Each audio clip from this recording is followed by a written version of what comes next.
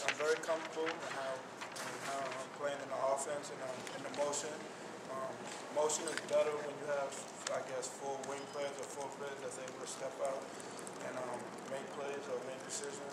Um, tonight, um, I went five for 11 from three, and I felt that if I would have followed through on about three of them, I would have made them. Um, but other than that, um, we just got to um, do better on the little things, like Coach said.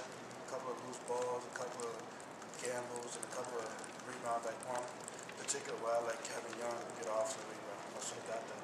Anytime you play against a good team like this, you want to win a game like that, um, especially the magnitude of how big the, the, the rivalry is. But they, they they win all the time, so I don't know. We gotta we gotta start getting some wins against them. And uh, for Rodney Gale and Martavious, I don't know. I think they only won one or two times. And, um, we got another chance on, but we focus on Iowa State. uh, make some shots.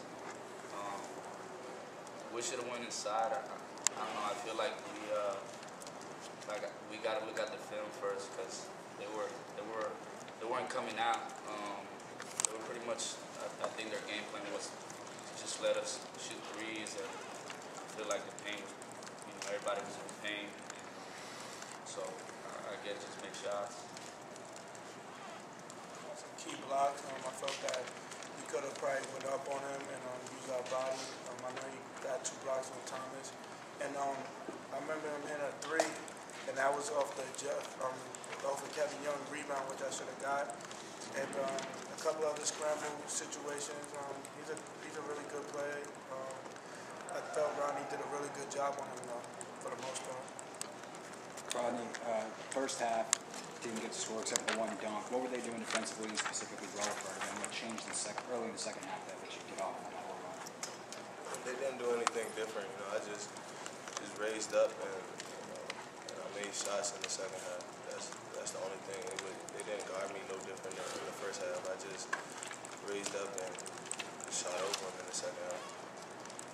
Rodney said it, that, you know, it didn't matter if we won or lost. Shane, uh, one of them, you know, we have to play Saturday. If you won, you, you know, you gotta still go there, you gotta, you know, instead, uh, I've talked about focusing on the long journey, being consistent. There's a lot of basketball, we gotta get better.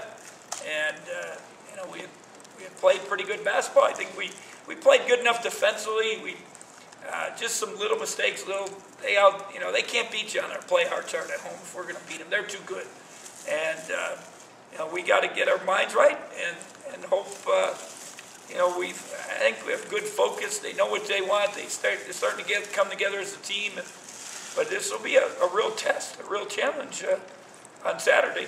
To, you know, to come back against a good team. You know, obviously they're good. They, you know, within a you know, what two seconds beating Kansas at Kansas.